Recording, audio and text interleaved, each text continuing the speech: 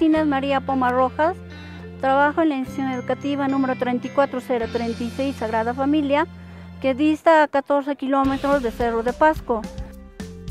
Desde niña tenía la vocación de ser maestra porque me nació, ¿no? Desde que yo tenía aprendizaje con mis docentes de aquel entonces cuando yo estudiaba y hasta el día de hoy, ¿no? No dejaría ser docente por ningún momento, no cambiaría esta profesión. El nombre del proyecto es Leyendo e Ilustrando Aprendo Mejor. Surge por una necesidad, porque veíamos que nuestros alumnos tenían cierto rechazo a la lectura.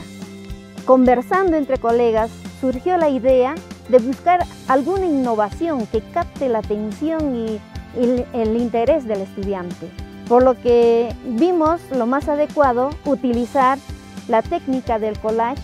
Esta técnica del collage está trabajado básicamente con materiales o con recursos eh, que está al alcance de nuestros estudiantes, el cual es el periódico.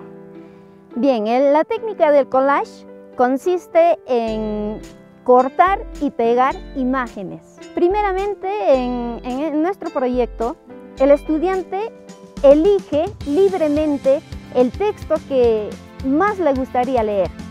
Luego leen individualmente socializan lo que han comprendido para luego hacer un resumen de su comprensión. En esta etapa, el que no ha aprendido, escuchando, aprende. Una vez que llegan a un consenso en equipo, van adaptando las imágenes que encuentran con la lectura del texto leído. Lo pegan en una forma cronológica según van eh, apareciendo los datos de la lectura y para un reforzamiento, elaboran su organizador visual, para luego pasar a una exposición de todo el trabajo elaborado.